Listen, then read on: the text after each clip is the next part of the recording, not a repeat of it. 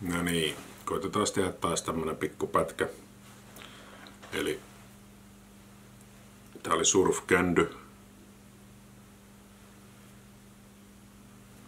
Tarkentaa ihan ihmeellisesti, mutta joo, surfkändy, mikä olisi niinku semmonen suspending.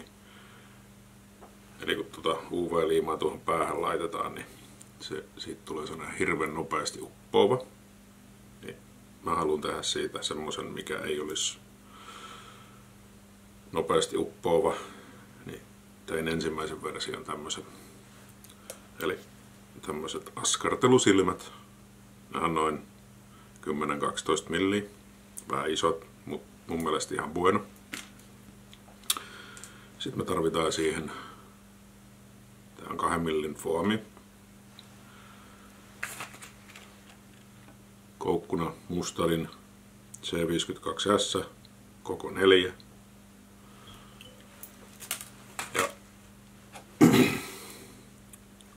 Veevuksen 10 valkoinen.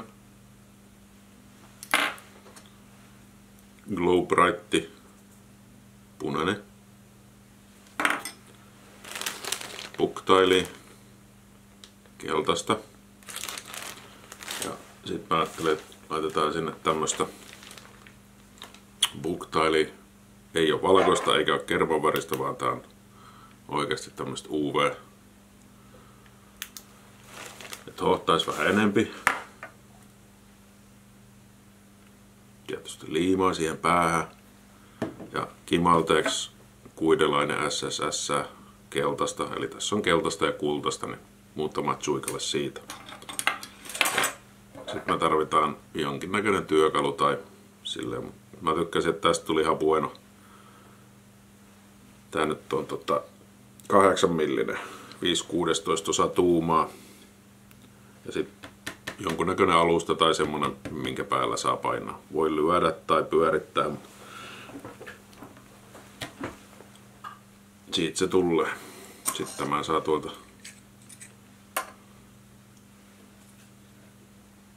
Noin. Tää leikataan puukolla halki.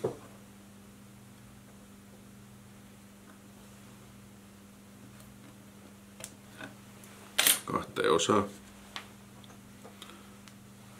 Ja vähän nyt on tarra silmiä nämä nukien silmät, otetaan se siitä veke.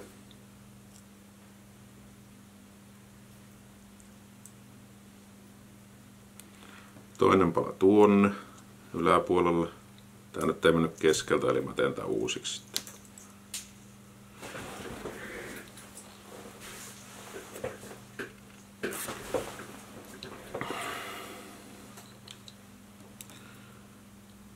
Sitten toiseen reunaan. Eli näin.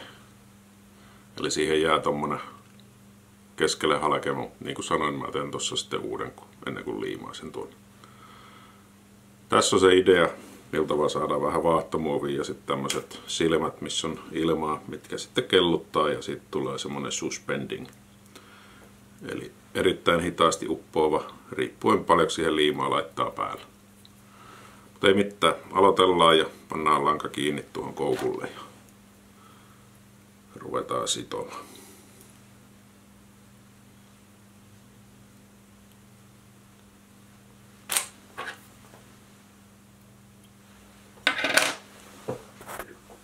Noin, vaihdettiin vähän tätä kuvakulmaa ja jatketaan. Eli pohjustetaan koukku hyvin.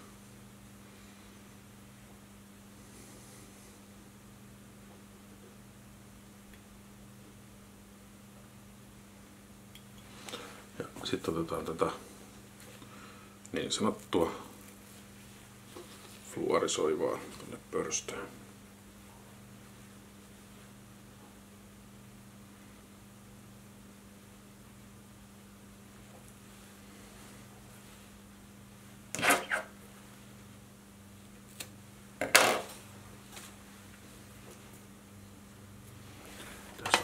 Pientä säätöä noiden valojen kanssa.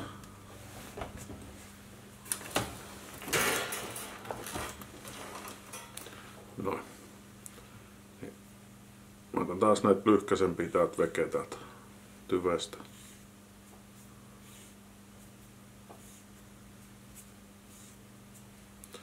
Noin. Ja sitten mä katson, että onko tää omaan mieleen tää pörstö.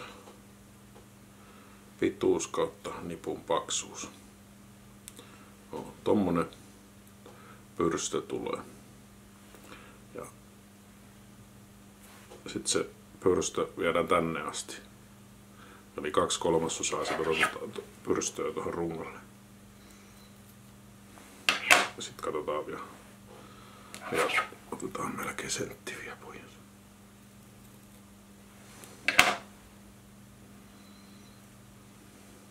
Jep, nyt se on omaan mieleen. Laitetaan se tuohon.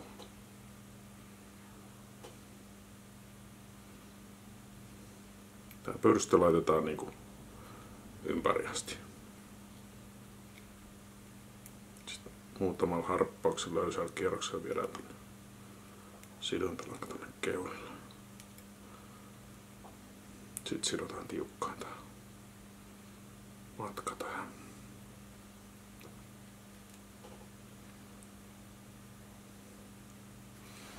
Noin, nyt mä teen tuohon puolipolve. Sitten mä sohin vähän tätä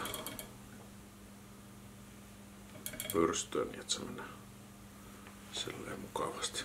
Noin. Sitten me laitetaan siihen kimalletta. Siellä oli joku hopeakin mukana.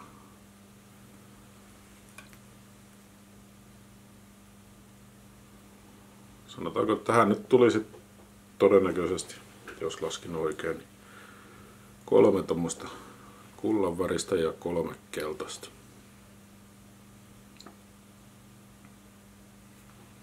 Sidotaan tänne, tänne puolelle koukkuu tähän.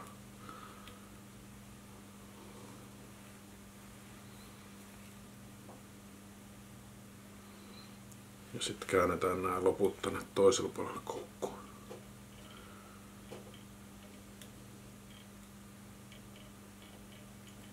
No.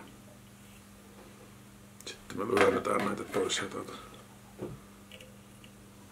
toiselta puolelta. sanotaanko näin, että saman mittaisiksi kuin nuo puktailit tuolla. Eli siellähän on puktaali jo tänne asti ja sitten tuossa ja silleen niin nämä kimalteet olisi sitten yhtä pitkiä näiden pyrstöjen kanssa. Mites toi valo nyt tuolla? Mä annan sen noin. Näkee vähän paremmin. Noin.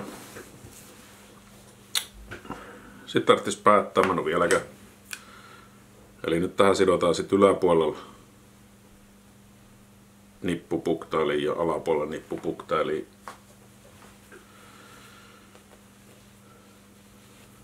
Kui päi niin sanotusti. Eli kumman sitoo yläpuolelle ja kumman sitoo alapuolelle.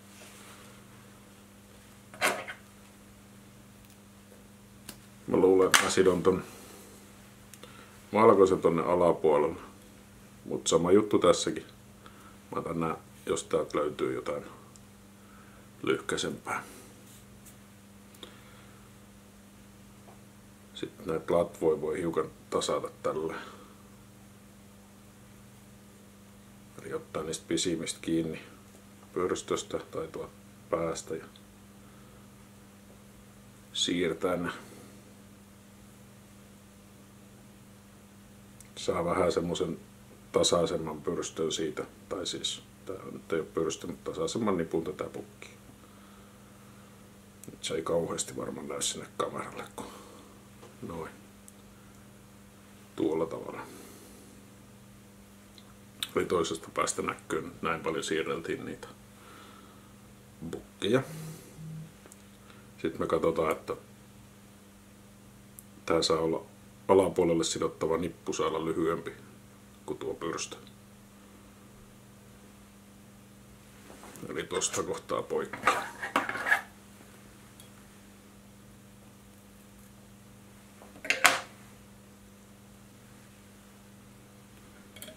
Ja se sidotaankin tänne keulille väärinpäin.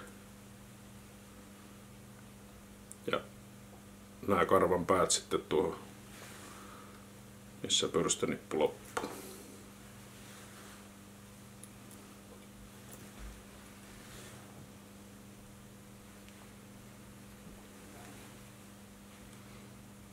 Nämä tarvitsisi saada pysymään täällä alapuolella tää nippu.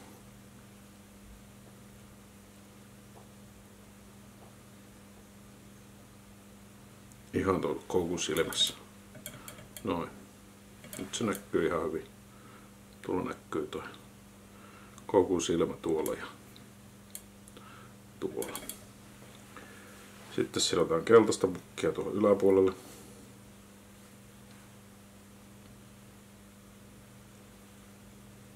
Ja karkeasti toi pyrstönippu on yksin likimain yhtä iso kuin nämä niput tänne eteenpäin.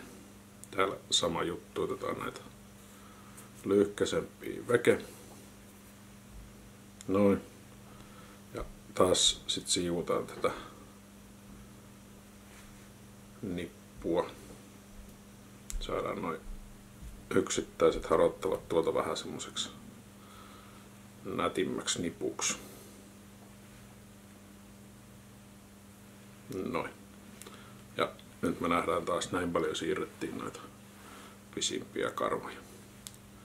Ja tämän nipun pituus on sitten pitempi kuin tuo alempi, mutta ei ton pyrstön mittainen. Eli tosta sormien kohtaa poikki.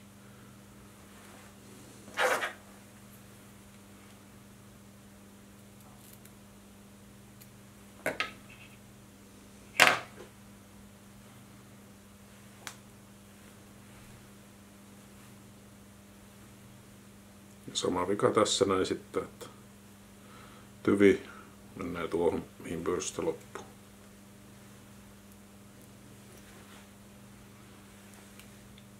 Ja yritetään saada pysymään se tuossa yläpuolella.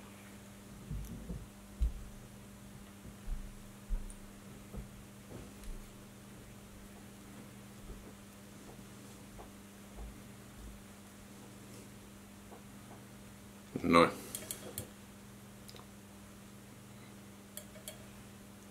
Suht buenosti onnistu.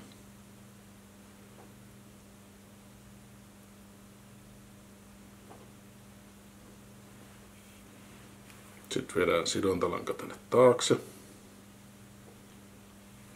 Eli tuohon mihin sido, sitominen loppuu.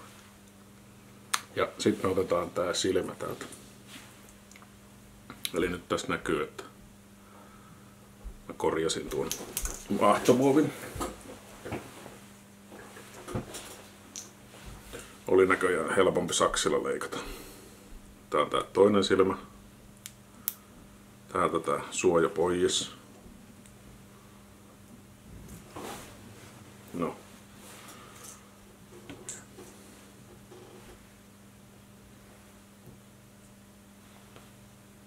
Nyt huomaatte varmaan tuon, miksi tehtiin tuolla.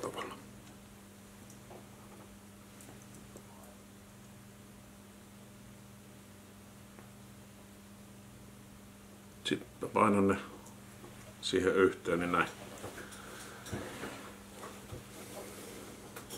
Sitten me otetaan kaikki keltaiset karvat.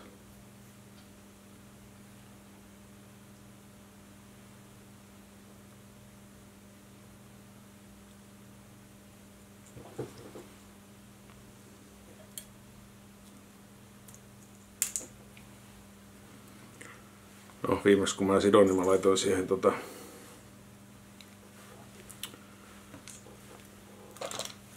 postikkia näköjään pysy paremmin.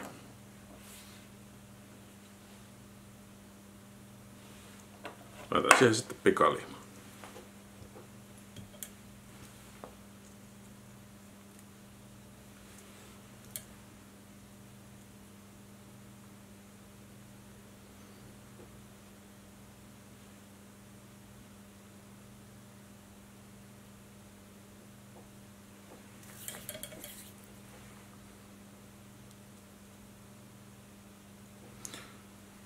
Jep.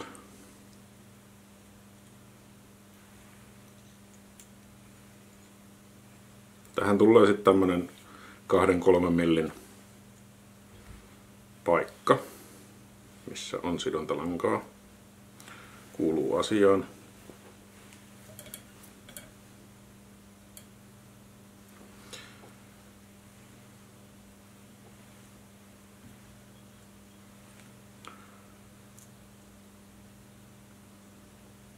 No nyt toi pikalimasta ei pidä sitten niin kuin ei perse yhtä.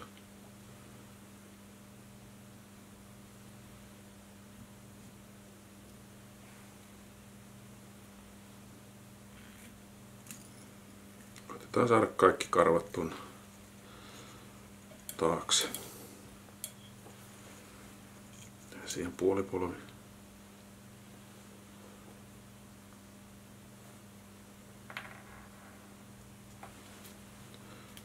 Ja toinenkin. Sitten me voidaan aloittaa tuota liimaamista.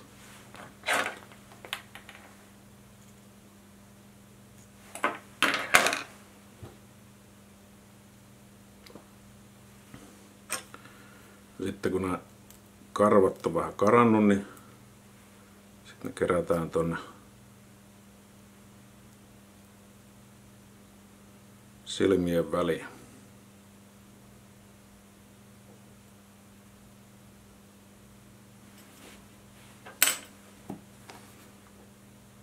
Ja otetaan jonkinnäköistä UV-liimaa.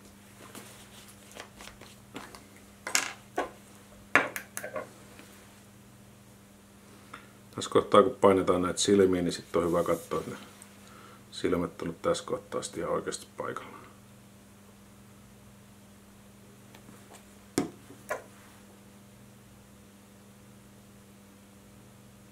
Eli nyt mä laitoin liimaa tuohon pelkästään karvoihin, tuohon väliin.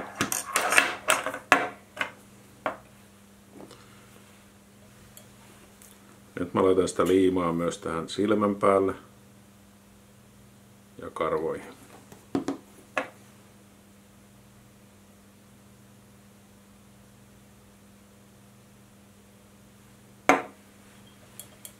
Sitten toiselle puolelle sama juttu.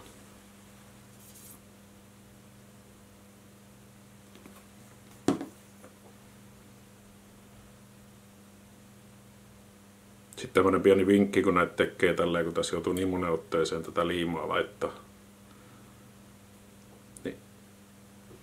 Kun mä laitan lampun tuohon pöydälle, niin mä en sammuta sitä. Sitten mä painan nämä silmät taas kiinni ja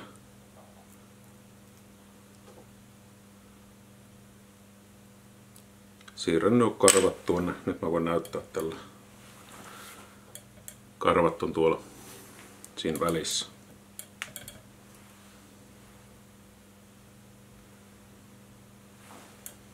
Käännän sitä tänne vähän itseni puolelle, mä näen mitä mä teen. Yksi karva meinaa ihan väkisin karata koko aika tonne jonnekin muualle. Mutta se voi sitten katkaista yksittäisiä karvoja, jos ne ei niinku asetu eikä jää tuohon väliin.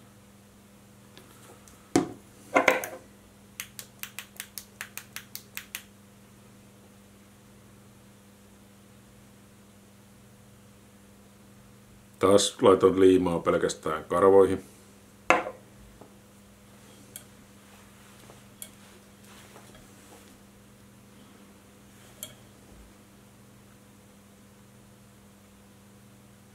Nyt siihen liiman päälle sekä ton silmän päälle.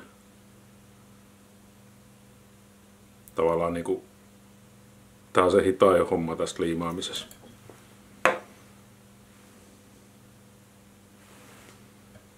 Ja nyt vielä viimeinen asettelu noille silmille ja sitten liimaa tähän silmän ja karvan välimaasta.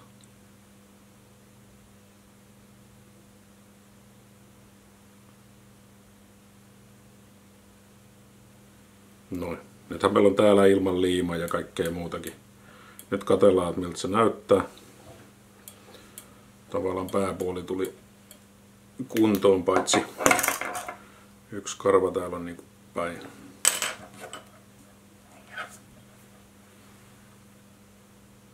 Olisiko tämä haitannut kalastusta? Ei todellakaan. No ja sitten katsotaan, että lamppu päälle ja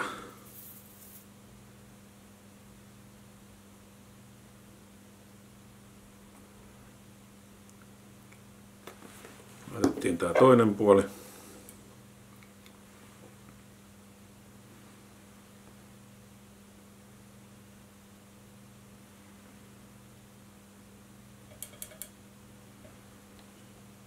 Sitten laitetaan toinen puoli.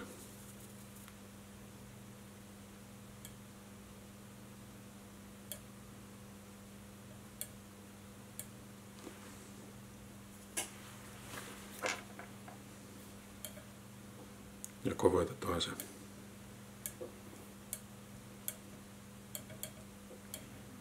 Pikkusen meni tuonne koukun silmään. Nyt on niinku toi etupuoli kuosissa ja kasassa.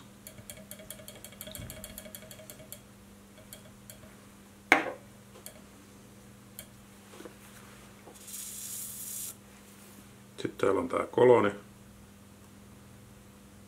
Pannaan siihen karvoihin pikkusen liimaa ja kovetellaan sitä. Ja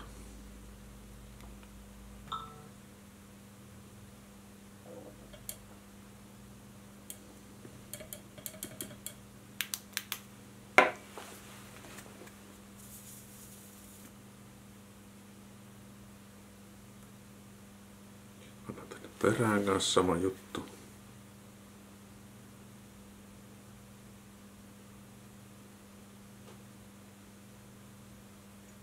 Ja kovetellaan. Noin. Ja nyt me voidaan täyttää sitten tää loput.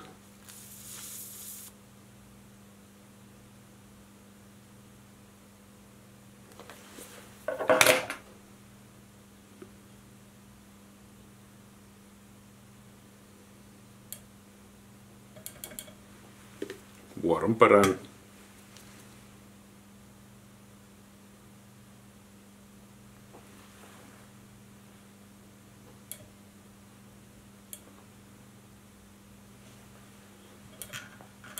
Sitten me laitetaan tänne karvoihinkin jo.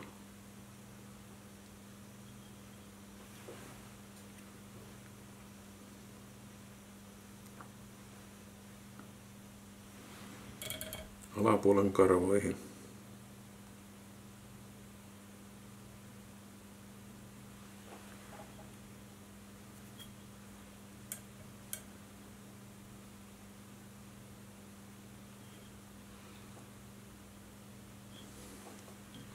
Sitten täytetään, katsotaan nämä silmän reunat täältä alapuolella.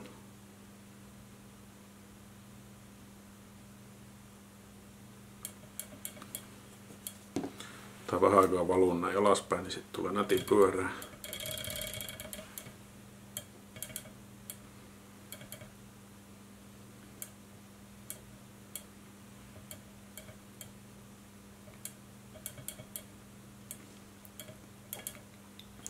Sitten tehdään sama homma yläpuolella. Katsotaan, noin silmän reunat tulee tuo liima alle molemmin puolin.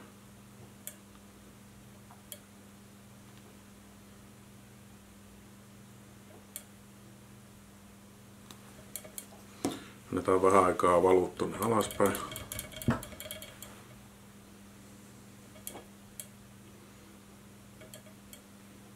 Mä huomaan tuolla pääpuolella tuli tuonne vähän tämmönen plönttiä.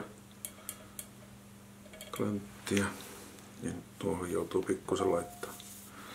Ja nyt tääkin, niin tää viimeistely ja tää hinkkaaminen tässä näin, niin tää sitten taas siihen kalastajasilmään.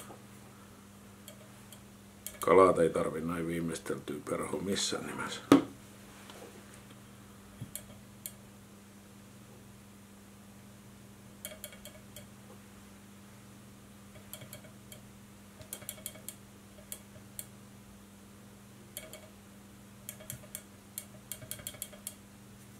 Noin.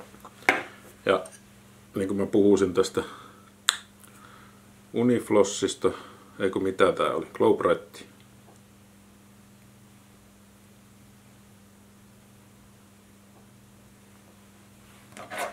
Eli tällä saadaan sitten vielä tämmönen pieni punainen iskupiste tänne perään, jos, jos haluaa.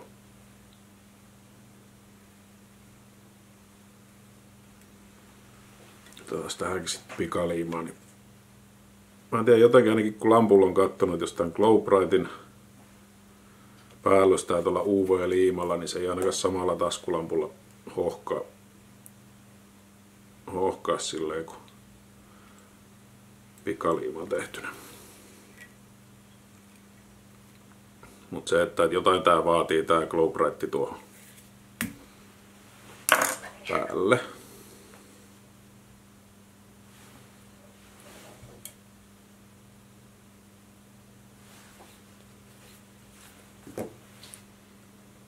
Noin.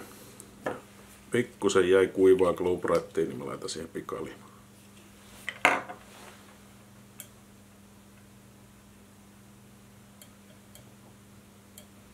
Katson, että se on kokonaan tuon pikaliimasta. Noin.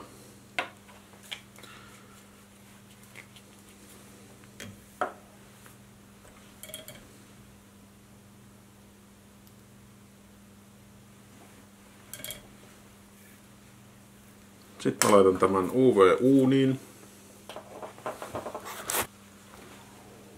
Eli tässä on mulla UV-uuni. Eli tää on tämmönen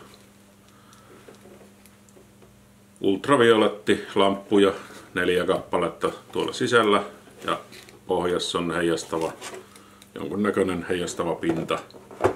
Ja tää on tarkoitettu kun nuo naiset tekee niin kuin rakennekynsiä silleen, niin sinne laitetaan käsi tuonne uuniin, niin sen takia se on tämän muotoinen ja kokoinen. Mulla itellä kävi kauhea tuuri, löysin kirpputorilta halvalla ja testasin, että kaikki noin toimii noin lamput ja sitten oli vielä se pöytä miinus 50, eli maksoin 2,5 euroa. Ei voi jättää suloville nyt tätä ostamatta. No, eli tyroksin palaa kiinni ja Työnnän sen tuonne uuniin, se saa siellä olla sitten viisi minuuttia ja niin poispäin. Sitten kun se on siellä viisi minuuttia ollut, niin mä sillä aikaa järjestelen tässä tommosen tota, no, niin, uimanäytöskoulun, haen vesikipon ja katsotaan, tuliko sellainen kuin halu. Jos se kelluu, niin sitten laitetaan lisää liimaa, niin sitten saadaan siihen se upottava määrä liimaa. Jos se uppoo nopeasti, no ei se voi nopeasti upota, kun siinä on silmä. Hetken päästä.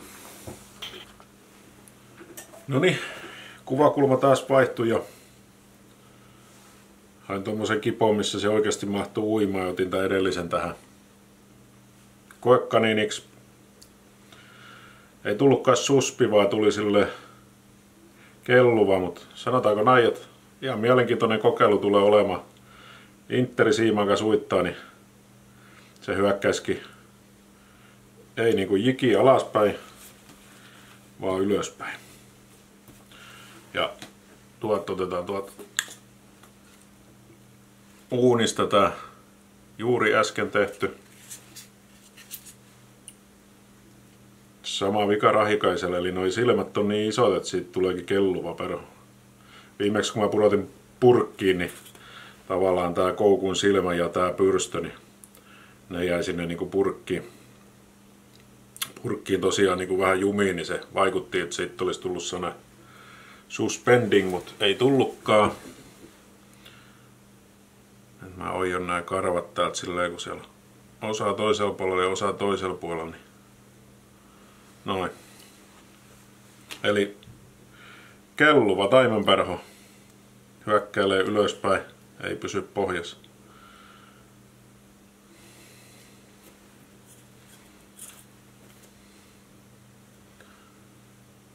Eli siellä on jonkun veljekset, veljekset tuolla uimassa.